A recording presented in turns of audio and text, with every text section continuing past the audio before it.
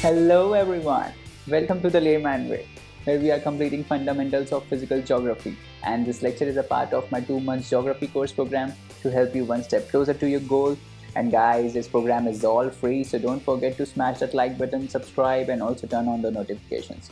Alright, if you want to view our full course, you can always click on the I button in the top right corner and view our full playlist.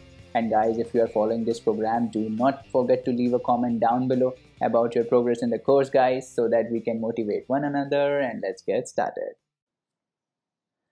तो चलिए दोस्तों करते हैं आज का lecture start और last lecture में हम टाइड्स की बात कर रहे थे कि टाइड्स कैसे बनते हैं तो फिर हमने यू नो ये देखा था कि भाई जब मून और सन एक डायरेक्शन में आ जाते हैं तो स्प्रिंग टाइड मतलब हाई टाइड क्रिएट होती है है ना और जब ये परपेंडिकुलर होता है तो नीप टाइड क्रिएट होती है करेक्ट तो ये बेसिकली दो मंथ में दो टाइम पे होगा एक तो जब दोनों यू नो मून यहाँ पर होगा, जब ये न्यू मून होगा, जब देखो यहाँ पे रहेगा ना तो न्यू मून होगा, और जब ये यहाँ पे रहेगा तो फुल मून होगा। तो मतलब कि फुल मून पे हाई टाइड आएगा, है ना? स्प्रिंग टाइड आएगा, और न्यू मून पे क्या आएगा? न्यू मून पे भी स्प्रिंग टाइड आएगा करेक्ट क्योंकि दोनों स्ट्रेट लाइन में है। और जब दोनों परपेंडिकुलर होंगे तो यहाँ पे लो टाइड आ जाएगा इधर, देखना। इधर लो टाइड आ रहा है ना? तो इस टाइप से इसका सीन रहता है करेक्ट अब थोड़ा और आगे बढ़ते हैं। और ये देखते हैं कि टाइट्स का यू नो हाइट किससे किससे वेरी कर सकता है, ठीक है? तो देखो, ये जो टाइडल बल्ज क्रिएट हो रहा है, ठीक है? जो ये बल्ज क्रिएट हो रहा है मतलब कि ये बल्ज का मतलब है कि ये कितना बड़ा टाइड है बेसिकली बल्ज का मतलब यही है कि इतना बड़ा है तो मतलब पानी इतना ऊपर उठ रहा है, ठीक है?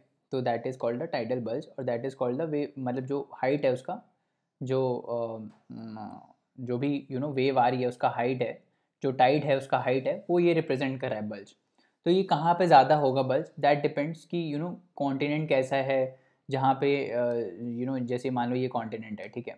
अब ये स्टीप है कि ये स्लोपी है, इस पर भी डिपेंड करेगा, ठीक है? स्टीप होगा तो ज़्यादा बड़ा बल जाएगा, क्योंकि भाई जब वाटर हिट करेगा तो एकदम से रुकेगा, एकदम से रुकेगा तो बड़ा वेव जनरेट होगा, ठीक है? बड़ा वेव आ जाएगा मतलब यहाँ पे कुल मिला के तो बड़ा बल्ज आ जाएगा तो इस पर ये डिपेंड करता है। तो ये बोल रहा है कि टाइडल बल्जेस जो होते हैं, वो वाइट कॉन्टिनेंटल शेल्स पे they have a greater height बस ये नॉर्मल ऐसे कुछ कोई क्वेश्चन पूछने वाला है नहीं इस पर ठीक है? तो बस ऐसे नॉर्मल पढ़ लो एक बार एम सी कभी आ गया तो मारने में काम रहेगा।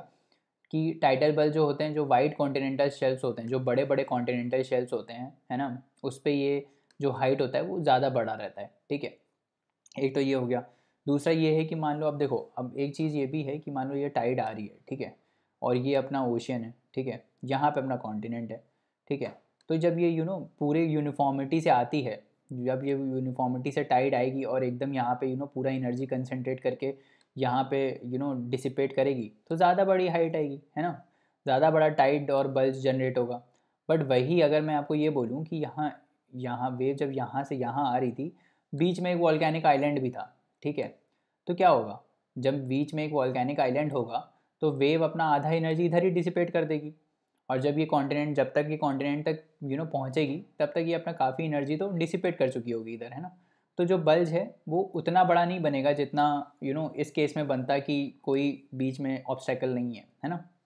तो यही बोल रहा है कि when tidal bulges hit the mid oceanic islands they become low they become low मतलब कि बीच में कोई आ गया आपका है ना? बीच में कोई आइलैंड आ गया तो अपना एनर्जी तो उसने यहीं डिसिपेट कर दिया। जब तक ये कॉन्टिनेंट में बच कॉन्टिनेंट में पहुँचती है तो ये अपना जो उसका टाइड होता है बल्ज होता है वो लो हो जाता है मतलब कुल मिला के ठीक है? लो मतलब उतना बड़ा नहीं होता है कुल मिला के बात ये है ठीक है? और फिर की the shape of the bays and estuaries along the coast line also magnify the intensity of the tides ठीक है? शेप बे हम बे और हमने ये पढ़ा था ना एस्टरी क्या होता है? बे ऐसा होता है कि भाई यहाँ पे हेडलैंड होता है और ये थोड़ा सा आ, मतलब यू नो ये इरोड हो चुका होता है बीच वाला तो ये बे होता है बेसिकली ठीक है? तो बे और जो ये शेप है बे का मतलब स्टीप है, ज़्यादा अंदर की तरफ़ है डीप है तो उससे भी यू नो इंटेंसिटी जो है वो मैग्नीफाई और मैग्नीफाई होती है। तो बस यही बोल रहा है, ठीक है? कि जो शेप है बेस का और एस्टोरीज का along the coast line can also magnify the intensity of the tides तो उससे भी यू नो शेप जो है जहाँ पे आके यू नो टाइड हिट कर रहा है, उस पर भी डिपेंड करेगा ये। कुल मिला के इतना बात बोल रहा है कि टाइट का जो टाइट का जो बल्ज है टाइट का जो इंटेंसिटी है वो इस पर डिपेंड करेगा कि कहाँ वो हिट कर रहा है। अगर स्टीप स्लोप पे हिट कर रहा है तो ज़्यादा ज़्यादा यू नो सीवियर टाइड होगा, ज़्यादा इंटेंसिटी का टाइड होगा। और अगर वहीं यू नो जेंटल स्लोप है कोई चीज़ तो वहाँ पे आराम से यू नो ऐसे ऊपर उठ जाएगा थोड़ा सा और फिर वापस रिट्रीट कर जाएगा बैक ठीक है? तो इस टाइप से वो बोल रहा है, ठीक है? स्प्लैशिंग होती है ना, याद है ना, ऐसे मुंबई में कभी मरीन ड्राइव पे जाओगे तो यहाँ पे यहाँ पे ऐसे लोग बैठे रहते हैं इधर साइड पे ना, ऐसे ऐसे, इधर इधर होता है और इधर पूरा अरेबियन सी अपना, ठीक है? तो यहाँ पे भी जब टाइड आती है और ये यहाँ पे देखोगे आप यहाँ पत्थर से पड़े रहते हैं, ठीक है? यहाँ पत्थर से पड़े रहते हैं। तो जब ये इधर आके इधर स्प्लैश करती है ना इधर तो बहुत तेज़ी से स्प्लैश करती है। एक दो बार तो न्यूज़ आई थी कि भाई यहाँ पे कुछ लोग बैठे थे और हाई टाइड आई और इनको लेके निकल गई, ठीक है? इस टाइप से भी था, ठीक है? तो मतलब इतने फोर्स के साथ हिट करती है। और यही चीज़ अगर ऐसे स्टीप नहीं होती, यही चीज़ अगर यू नो ऐसे जनरली थोड़ा स्लोपी होती तो पानी जो है वो कॉन्टिनेंट के यू नो अंदर आ जाता और थोड़ा सा जेंटल होता है ठीक है? तो इंटेंसिटी थोड़ी रुक जाती है उसकी, क्योंकि धीरे धीरे एनर्जी डिसिपेट होती, एकदम से डिसिपेट नहीं हो जाती, ठीक है? तो यही बोल रहा है। और जब you know when the tide is channelled between islands into the bays and estuaries they are called as tidal currents बस ये नॉर्मल डेफिनेशन है टाइडल करेंट्स की, कि भाई टाइडल करेंट्स क्या होते हैं? जब भी ये जो टाइड आ रही है, उसको हम किसी यू नो बे में अगर हम चैनल कर दें, मान लो ये टाइड है और मैंने एक ऐसे नैरो गैप बना के इस टाइड को इधर चैनल कर दिया तो इसको हम क्या बोलेंगे? इसको हम बोलेंगे टाइडल करेंट इसको हम क्या बोल देंगे? Tidal current when the tide is channelled into the island and the bays it is called tidal currents ठीक है? ये हो गया। और हाईएस्ट टाइड्स जो हैं वर्ल्ड में, ये फैक्ट है। तो हाईएस्ट टाइड्स जो हैं, वो बे ऑफ़ फंडी में ओरिजिनेट बे ऑफ़ फंडी में अकर होती हैं, जो कि बे ऑफ़ फंडी है नोवा स्कॉचिया कनाडा में। ठीक है? तो यहाँ पे जो हैं वर्ल्ड की सबसे बड़ी टाइड्स अकर होती हैं। दो हाई टाइड अकर होती हैं और दो लो टाइड हर दिन। हर दिन दो हाई टाइड और लो टाइड यहाँ पे अकर होती हैं। ठीक है? तो ये याद कर लेना कि भाई हाईएस्ट टाइड कहाँ पर होती हैं? बे ऑफ़ फंडी में होती हैं। अब हम देखते हैं कि टाइप ऑफ़ टाइड्स कौन कौन सी होती हैं। तो टाइप ऑफ़ टाइड्स में एक है semi diurnal tide semi diurnal मतलब कि दो हाई टाइड और दो लो टाइड ठीक है? इसको हम बोलते हैं सेमी डायरियोनल डायरियोनल किसको बोलते हैं? एक हाई टाइड और एक लो टाइड को डायरियोनल बोल देते हैं, ठीक है? मिक्स टाइड जब हाइट में वेरिएशन हो। हाइट कोई फिक्स नहीं है। हाइट वेरी कर रही कभी भी बड़ी भी हो सकती है, कभी नीचे भी हो सकती है, कभी क्या पता दोनों बड़ी हो जाएँ। तो इस टाइप से जो मिक्सड टाइड्स होती हैं, उसको हम क्या बोलते हैं? उसको हम बोलते हैं मिक्सड टाइड एक है सेमी डायरियोनल दो हाई दो लो डायरियोनल एक हाई एक लो, और मिक्स जिसमें कोई फिक्स नहीं है डाइट का जो यू नो वेरिएशन होगा हाइट में, उसको हम क्या बोलते हैं? Mix type they occur along the west coast of the North America and on many islands of the Pacific Ocean तो पैसिफिक अपना ओशन इधर है, यहाँ पे अपना साउथ अमेरिका है, यहाँ नॉर्थ अमेरिका है तो ये यहाँ के कोस्ट पे अकर होती हैं ये सब, ठीक है? स्प्रिंग टाइड्स और नीप टाइड्स तो मैंने बताई दिया कि when sun and moon are in the straight line जो कि दो बार होता है, एक बार यहाँ पे और एक बार यहाँ पे, एक बार न्यू मून में, एक बार फुल मून में। तो उसको हम बोलते हैं स्प्रिंग टाइड्स और जब भी ये परपेंडिकुलर चला जाता है मून तो उसको हम क्या बोलते हैं? उसको हम बोलते हैं neap tides. That is the sun and the moon are the right angles ठीक है? और सन और जो मून का ऑब्वियसली मून जो है वो हमारे काफ़ी पास है अर्थ के, है ना? एज़ कंपेयर टू सन तो जो चीज़ ज़्यादा पास होगी उसका ज़्यादा ग्रेविटेशन लगेगा। तो जो मून का जो ग्रेविटेशनल पुल होता है that is twice that of the sun ठीक है? तभी आप देखोगे कि जब ये यू नो परपेंडिकुलर हो रहा है तो bulge you know it is favouring here not here यहाँ पे कम है, क्योंकि यहाँ का ग्रेविटेशनल पुल कम है।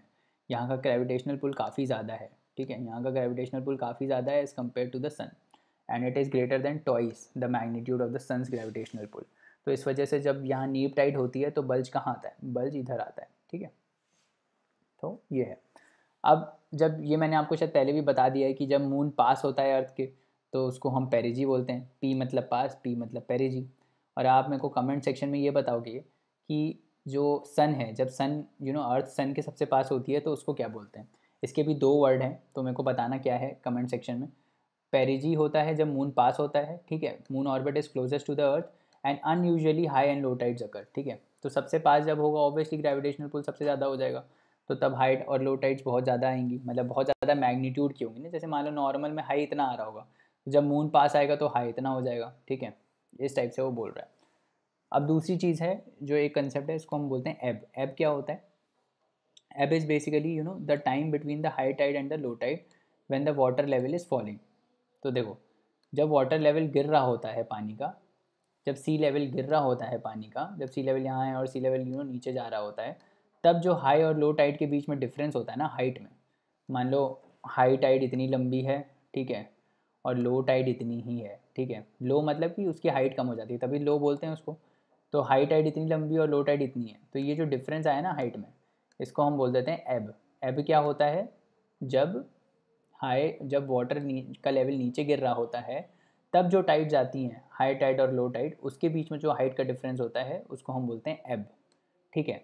अब यही चीज़ अगर उस टाइम हो ना जब पानी का वाटर राइज कर रहा होता है तभी सेम चीज़ को क्या बोल देते हैं? फ्लो और फ्लड ठीक है? तो फ्लो और फ्लड क्या होता है?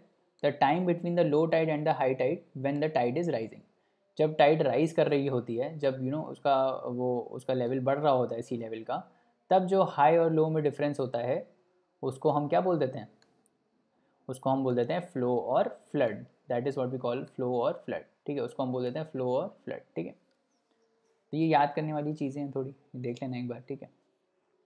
अब हम नेक्स्ट पढ़ते हैं यू नो नेक्स्ट हम देखेंगे ओशन करेंट्स के बारे में जो कि सबसे इंपॉर्टेंट टॉपिक है कि यू you नो know, कौन से वार्म करेंट्स होते हैं कौन से कोल्ड करेंट्स होते हैं। हमने बहुत ही काफ़ी मेजर चीज़ें डिस्कस कर ली हैं कि यू नो टेम्परेचर जैसे हमने एक यू नो पीछे लेक्चर पढ़ा था कि टेम्परेचर कैसे ओशन को इफ़ेक्ट करता है ना? टेम्परेचर की वजह से कैसे होता है। अब हम देखेंगे कि ओशन करेंट्स जो हैं वो हमारे करेंट्स मूव क्यों करते हैं? यू नो ओशन का वाटर जो है वो मूव ही क्यों करता है? उसको नीड क्या है? एक तो ठीक है, एक हमने पढ़ लिया कि विंड जो होती है विंड अपने साथ उसको फोर्स लगाती है और विंड के साथ जो है पानी मूव करता है। एक तो ये था हमारा, ठीक है? बट बाकी भी तो चीज़ें हैं ना, सिर्फ़ विंड की वजह से तो मूव करेगा नहीं, बाकी भी चीज़ों की वजह से मूव करेगा। तो देखते हैं, क्या क्या कौन कौन से फैक्टर्स होते हैं। तो सबसे पहले यू नो बेसिक से स्टार्ट करते हैं कि भाई ओशन करेंट्स का मतलब ही क्या है? सबसे पहले नहीं कभी भी कोई चीज़ पढ़ रहे हो तो उसका मतलब ढूंढा करो कि है क्या, क्यों पढ़ रहे हैं हम ये चीज़? करंट होता क्या है? करंट क्या होता है? अगर मैं पूछूँ आपसे करंट होता है तो करंट क्या होता है? हम बोलते हो ना कि करंट लग गया यार, कोई ऐसे नेकेड वायर छूते हो तो बोलते हो करंट लग गया। तो क्या होता है करंट कि भाई आपके बॉडी के थ्रू इलेक्ट्रिसिटी फ्लो करती है और अर्थ में चली जाती है तो आपको करंट लग जाता है। यही बोलते हैं ना ले मैन लैंग्वेज में यही बोलते हैं कि भाई करंट लग गया मेरे को, कि भाई यहाँ नेकेड वायर छू दी और करंट फ्लो कर गया और नीचे अर्थ में चला गया। तो इसका बेसिक कंसेप्ट क्या है? हम इसको करंट इसलिए बोलते हैं क्योंकि इलेक्ट्रिसिटी जो है वो फ्लो करती है कहाँ से? फ्लो करती है वायर के थ्रू हमारी बॉडी से और नीचे। इस फ्लो को ही हम करंट बोलते हैं, ठीक है? हाँ ऐसा कुछ वो नहीं होता, इस फ्लो को ही हम करंट बोलते हैं, ऐसे रिलेट करो उसको, ठीक है? इस फ्लो, जो फ्लो ऑफ़ इलेक्ट्रिसिटी होता है आपकी बॉडी के थ्रू, उसको हम बोलते हैं करंट। अब यही फ्लो अगर ओशियन में होगा तो क्या होगा? कि भाई पानी का मूवमेंट को हम बोलेंगे। पानी के मूवमेंट को हम बोलेंगे ना करंट तो वही होता है। ओशन करेंट्स मतलब कि पानी के कर, पानी का मूवमेंट, वाटर जो है, वाटर जो है अपना ओशन में, उस, वो कैसे मूव कर रहा है, उसको हम बोलते हैं ओशन करेंट्स, ठीक है? अब ये सिंपल चीज़ समझ में आ गई कि ओशन करेंट क्या होता है। अब अब वो भाई डेफिनेशन बताया कि भाई they represent a regular volume of water and definite path और डायरेक्शन इतना तो टफ बना देते हैं ना इस चीज़ को कि क्या बताएँ। तो ठीक है, ये ये हमने देख लिया कि क्या होता है ओशन करंट का डेफिनेशन क्या होता है? सिंपल लेमैन भाषा में क्या होता है वो हमने देख लिया ठीक है? अब आपको चतुर की तरह अगर ये वाला डेफिनेशन रटना है तो आप रट लेना क्योंकि पूछेगा कोई है नहीं है ना? तो अब अब देखते हैं कि यू you नो know, अब ये रिस्प कौन कौन से जो फैक्टर्स हैं वो रिस्पॉन्सिबल हैं इसके लिए। ओशन करेंट्स मूव क्यों करता है? क्योंकि फोर्स लगेगा कोई भी चीज़ मूव कब करेगी? जब फोर्स लगेगा एक टेबल नॉर्मल ज़मीन पर रखी हुई है वो अपने आप से जादू टोने की तरह तो मूव कर नहीं जाएगी। आप फोर्स इस पर लगाओगे तभी ये मूव करती है तो ऐसे ही पानी भी होता है। पानी के ऊपर भी जब फोर्स लगे तभी वो मूव करेगा। तो अब देखते हैं कौन कौन से ऐसे फोर्सेज होते हैं जो इसको करंट जो वाटर को मूव करते हैं। तो हम इसको ना दो चीज़ों में डिवाइड करते हैं। एक तो है प्राइमरी फोर्सेज और एक है सेकेंडरी फोर्सेज तो एक एक करके देखते हैं कौन कौन से फोर्सेज होते हैं। तो सबसे पहले हम स्टार्ट करते हैं प्राइमरी फोर्सेज से। कौन कौन से ऐसे प्राइमरी फोर्सेज हैं जो ओशन के वाटर को मूव करते हैं? तो उसमें पहला आता है सोलर हीट या टेम्परेचर ठीक है? पहले चार देख लेते हैं सोलर हीट एंड टेम्परेचर दूसरा है विंड तीसरा है ग्रेविटी और चौथा है क्या? कोरियोलेस फोर्स ठीक है? तो हमने विंड तो देख ही लिया था कि भाई विंड कैसे डायरेक्शन मूव करती है। जैसे नॉर्थ ईस्ट ट्रेड विंड जब आ रही होती हैं तो वाटर को यू नो वार्म वाटर को इधर अपने साथ मूव कर मूव करके चलती हैं, है ना? तो उसी वजह से करंट जनरेट होते हैं। तो एक तो ये रीज़न था ही कि भाई विंड की वजह से ओशन का वाटर मूव करता है। अब दूसरा चीज़ देखते हैं कि सोलर हीट और टेम्परेचर कैसे करता है। तो अब आप एक बात बताओ, मान लो कि ये ये देखो, ये देखा है आपने कभी माउंटेन से जब पानी निकलता है तो माउंटेन से पानी निकल के नीचे ही क्यों जाता है? ऐसे भी तो ऊपर भी तो जा सकता है। नीचे इसलिए जाता है ना क्योंकि एक तो रीज़न नीचे जाने का माउंटेन से जब पानी आता है तो उसके नीचे जाने के दो रीज़न होते हैं। एक तो ये होता है कि भाई, इसमें ग्रेडियंट है एक। ये चीज़ ऊपर है, ये चीज़ नीचे है तो ग्रेडियंट से पानी जो है वो नीचे आता है, ठीक है? और दूसरा है कि इस पर ग्रेविटी का फोर्स भी लगता है ऑब्वियसली तो ये दोनों फोर्सेस हैं ग्रेविटी और ग्रेविटी तो हमने देख लिया कि भाई ग्रेविटी लगती है इसके ऊपर, इसीलिए ये पानी जो है वो नीचे आता है। और दूसरा कि इसमें एक यू नो एलिवेशन डिफरेंस भी है है ना? ये पानी ऊपर है, ये पानी नीचे है। तो अगर हम यू नो ओशन करेंट्स में भी अगर हम ओशन में एक पॉइंट को ऊपर कर दें और एक पॉइंट को नीचे कर दें तो पानी फ्लो हो जाएगा ऊपर से नीचे। करेक्ट तो चलो ये करते हैं। कैसे करेंगे? देखो, हमको पता है कि जब पानी को आप हीट करते हो तो पानी क्या करता है? वाटर को जब भी आप हीट करते हो तो वाटर एक्सपैंड करता है। वाटर एक्सपैंड करता है करेक्ट वाटर एक्सपैंड करता है। तो जब वाटर एक्सपैंड करता है तो क्या होता है? उसका लेवल जो है, वो बढ़ जाता है। एक्सपेंशन यही तो होता है। कोई चीज़ छोटे से बड़ी हो जाए, यही तो एक्सपेंशन होता है ना। तो जब बड़ी हो जाएगी, मान लो मान लो ये दो बॉल्स थी, ठीक है? ये दो बॉल्स थी, ये नॉर्मल टेम्परेचर पे। अब मैंने इसको हीटअप कर दिया तो क्या हो जाएगा? ये बॉल ऐसे बड़ी उसी हो जाएगी। ये बड़ी सी अगर बॉल हो गई तो इसकी हाइट में डिफरेंस आ गया। पहले ये हाइट बराबर लेवल पे थी, अब ये हाइट में डिफरेंस आ गया। करेक्ट तो ऐसे ही वाटर में भी होता है। जब हम, मान लो एक ये वाटर है नॉर्मल ठीक है? ये पूरा वाटर है, ऐसे नॉर्मल है, ठीक है? यहाँ पे वाटर जो है वो कोल्ड है, ठीक है? और यहाँ पे मैंने इसको क्या किया? सनलाइट सनलाइट दी इसको और इसको मैंने हीटअप कर दिया। तो क्या हो गया? ये वाटर जो है वो थोड़ा सा ना थोड़ा सा एक्सपैंड करेगा और थोड़ा सा एक्सपैंड करके ये ऊपर चला जाएगा। ठीक है? तो अब क्या हुआ? ये लेवल नीचे है, ये लेवल ऊपर है। जब ये लेवल नीचे है और ये लेवल ऊपर है तो एक ग्रेडियंट क्रिएट हो गया कि नहीं? हो गया ग्रेडियंट क्रिएट क्योंकि यहाँ पे ये लेवल तो ऊपर है और ये लेवल नीचे है। तो हमेशा याद रखना कि जो हीटेड अप वाटर होता है, वो करता है एक्सपैंड और एक्सपैंड करने की वजह से उसका हाइट बढ़ जाता है और कोल्ड वाटर होता है नॉर्मल नीचे लेवल पे। तो उसकी वजह से एक ग्रेडियंट क्रिएट हो जाता है और जब एक ग्रेडियंट क्रिएट हो जाता है हाई और लो का तो water high to low move करता है। ठीक है? तो ये कंसेप्ट याद रखना। ऐसे ही सोलर हीट और टेम्परेचर की वजह से वाटर मूव करता है। तो अब इसको रिलेट करते हैं। अब हम इसके इसको अर्थ के यू नो अर्थ के स्ट्रक्चर से रिलेट करते हैं कि भाई जो इक्वेटर है, हमको पता है कि इक्वेटर पे सनलाइट बहुत ज़्यादा आती है। अब जब इक्वेटर पे सनलाइट बहुत ज़्यादा आएगी तो यहाँ पे वाटर भी हीटअप बहुत जल्दी होगा। वाटर हीटअप होगा तो क्या होगा? यहाँ पे वाटर एक्सपैंड करेगा। एक्सपैंड करेगा तो क्या होगा? एक्सपैंड करेगा तो इक्वेटर पे जो वाटर का लेवल है, वो हाई होगा और बाकी यहाँ पोलर रीजन्स पे ये लो होगा तो वाटर कैसे मूव करेगा? इक्वेटर टू पोल्स ठीक है? समझ में आ रहा है ना अभी? ये हाई है, ये लो है हाई टू लो मूव करा ग्रेडियंट की वजह से ऐसे मूव करा, ठीक है? तो इसको हमने क्या बोल दिया? ये क्या हो गया? This is basically just minute this is basically you know gradient की वजह से ये मूव कर गया, ठीक है? तो इसको हमने बोल दिया कि वाटर मूव कर गया। तो क्या बोल रहे हैं? कि water expands near the equator water is eight centimetre higher in level than the middle latitudes इसको हमने बोल दिया ग्रेडियंट जिस, जिसकी वजह से ग्रेडियंट क्रिएट हो गया और इस ग्रेडियंट की वजह से वाटर मूव कर गया। तो warm water is lighter and rises and the cold water is denser and sinks ये तो हमको पता है कि जो ठंडा पानी होता है, चाहे वो ठंडा पानी हो, चाहे वो ठंडा यू नो विंड हो, चाहे वो ठंडा इंसान हो, सबका एनर्जी लेवल डाउन होता है। ठीक है? समझ में आ रहा है ना? आप आप अगर बहुत गुस्से में हो जाते हो, अगर आपको बहुत गुस्सा आने लगता है तो क्या हो जाता है? आपका लेवल बढ़ जाता है। लेवल मतलब कि आपका यू नो एनर्जी लेवल बहुत बढ़ जाता है। आप एक्सपैंड करते हो, आप अपना फ्रस्ट्रेशन बाहर निकालने की कोशिश करते हो। बट वहीं अगर आप कूल और काम हो तो क्या हो? आप सिंक कर गए हो। आप मतलब यू नो थोड़ा ठंडे हो मतलब कुल मिला के। आप ज़्यादा कुछ बोल नहीं रहे हो। ठीक है? ऐसे ही होता है विंड और वाटर में भी। जब विंड जब पानी का जब पानी यू नो कोल्ड होता है तो वो सिंक कर जाता है। और जो एयर होती है, वो भी कोल्ड होती है तो सिंक कर जाती है। क्योंकि कोल्ड मतलब भारी होता है। कोल्ड इज़ हैवी और जो वाटर लाइट होता है, जो वाटर वार्म होता है, वो लाइट होता है। तो लाइट वाटर राइज करता है और लाइट एयर भी राइज करती है, ठीक है? तो इस वजह से क्या होता है कि वार्म वाटर ऊपर जाता है कोल्ड वाटर नीचे आता है तो एक ग्रेडियंट क्रिएट हो जाता है और इस ग्रेडियंट की वजह से वाटर अपना मूव करता है। तो ये ध्यान रखना कि जो इक्वेटर है सिंस वहाँ पे सनलाइट बहुत ज़्यादा आती है तो वहाँ पे you know eight centimetre high रहता है water water gradient eight centimetre normal level से ऊपर रहता है और बाकी बाकी जगहों पे नीचे रहता है तो इस वजह से ये मूवमेंट होता है ठीक है? अब wind blowing on the surface pushes the water to move ये तो पता है ये trade wind from the tropics help you know tropics to equator help in the movement of ocean water ये हमने पिछले देख ही लिया था ठीक है? कि विंड कैसे जो है यू you नो know, इसको मूव कर रही है। विंड हमने देखा था ना कि विंड भाई मूव कर रही है यहाँ पे। विंड जो है वो वाटर को कॉन्टिनेंट से लेके जाती है और जब विंड लेके जाती है ऊपर के सरफेस का वाटर जो है वार्म वाटर को निकाल देती है तो नीचे से कोल्ड वाटर ऊपर आता है। इसको हमने बोला था अपवेलिंग अगर याद हो तो। अगर नहीं याद है तो पिछले वाले लेक्चर फिर से देखिए रिवाइज करिए, ठीक है? अप वेलिंग बोला था ना हमने कि भाई विंड जो है वो सरफेस के वाटर को ब्लो कर जाती है अपने साथ।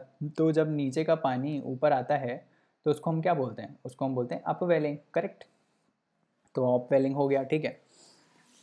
अब आगे बढ़ते हैं, आप देखते हैं ग्रेविटी का क्या रोल है? ग्रेविटी मैंने बताई दिया ग्रेविटी का क्या रोल है? ग्रेविटी जो है वो पानी को क्या करती है? नीचे खींचती है।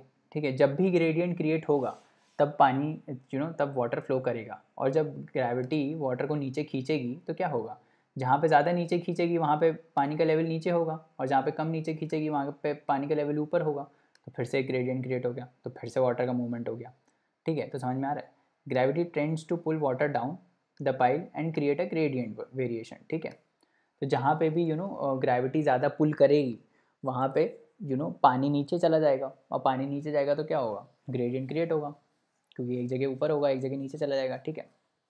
फिर एक चौथा फोर्स आता है, जिसको हम बोलते हैं कोरियोलिस फोर्स कोरियोलिस फोर्स आप ये ध्यान रख लो कि भाई कोरियोलिस फोर्स जो है हमारा, ठीक है?